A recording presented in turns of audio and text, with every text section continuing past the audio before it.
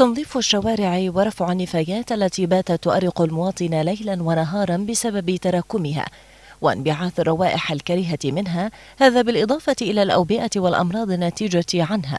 هذا هو هدف الحملة التطوعية لإغاثة المناطق في البصرة الفيحاء المنكوبة بكل أشكال التلوث. بلدية البصرة وبالتعاون مع مشروع تكامل نظمت حملة خاصة لتنظيف مختلف مناطق المحافظة.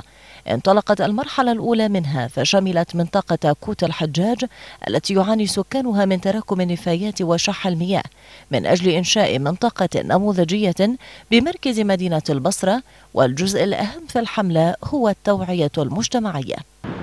منطقة نموذجية في مركز مدينة البصرة تشمل كثير من الجهود والأعمال والنشاطات من عدها كنس الشوارع رفع النفايات وغسل الشوارع وإضافة إلى رفع الأنقاض.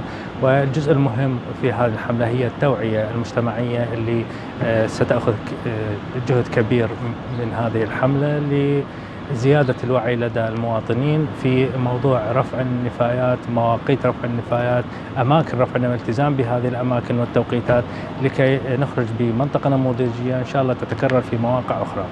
التجربة الجديدة بحسب القائمين عليها غايتها إنشاء منطقة نموذجية. على اعتبار أن أكداس النفايات المتواجدة في كوت الحجاج أكثر من أي مكان آخر وبالتالي فإن الأمر برمته يعتمد على المواطن نفسه فهو من ينجح التجربة أو يحبطها. منطقة كوت الحجاج نموذجا فيما إذا نجحت الحملة في منطقة كوت الحجاج تطبق في بقية المناطق. قمنا باستبيان قبلي للمنطقة وصورنا المناطق اللي تتكدس فيها النفايات وحاولنا أن نوزع على المواد إعلانية للمواطنين وملصقات جدارية لتوعية المواطنين حول رمي النفايات في أماكنها المخصصة لها. وتغيير سلوك المواطن للتعاون مع بلدية البصرة في رمي النفايات بالأماكن المخصصة لها. وبالفعل حدث ذلك واليوم آه، جاءت الحملة بطريق بالشكل الفعلي. تستمر الحملة لمدة عشرة أيام بجمع النفايات مع كادر بلدية البصرة ثم تبقى حوالي شهرين للمتابعة لمدى تعاون المواطنين مع هذه الحملة وتقييم المواطنين إذا نجحت الحملة.